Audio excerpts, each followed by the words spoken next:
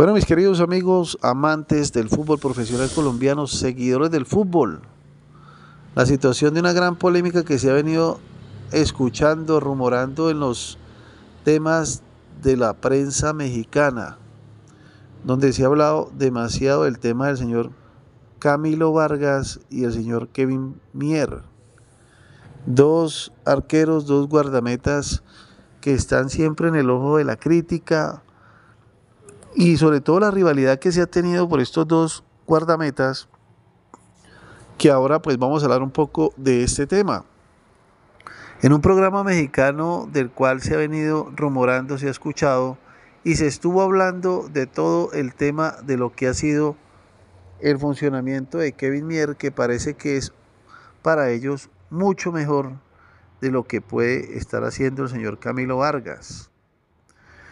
Una de las situaciones es que en este rentado de tanta situación de fichajes y todo lo que se ha visto en esta selección Colombia que ha cambiado mucho su estructura, sobre todo todo lo que se ha visto con una selección Colombia que genera gran expectativa, pues también se ha hablado mucho en un programa mexicano y se discutió mucho sobre el arquero que debería ser titular de la selección Colombia.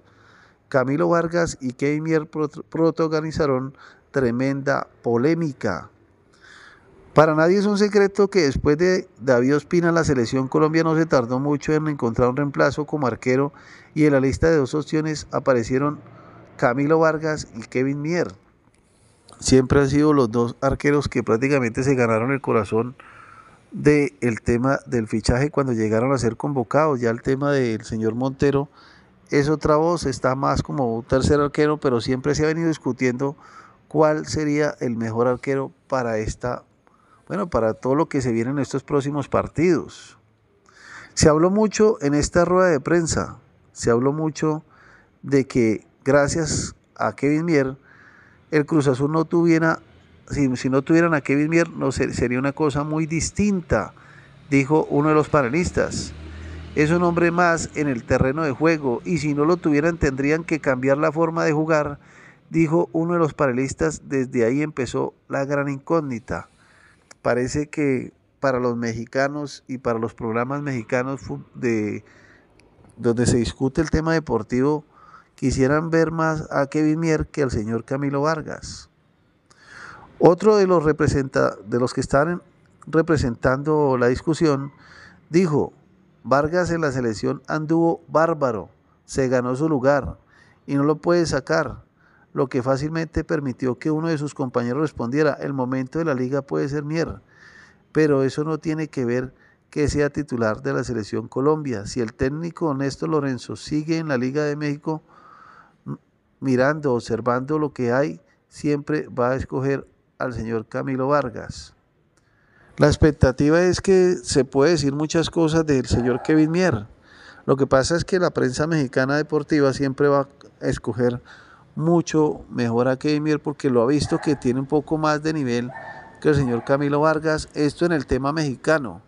Lo que pasa es que hay que mirar que lo que ha sido la Copa América, la participación que tuvo Camilo Vargas en este partido frente a la Argentina y lo que fue la clasificatoria 2026, no hay que por qué, ni hay ningún secreto en saber de que Camilo Vargas fue el que la rompió.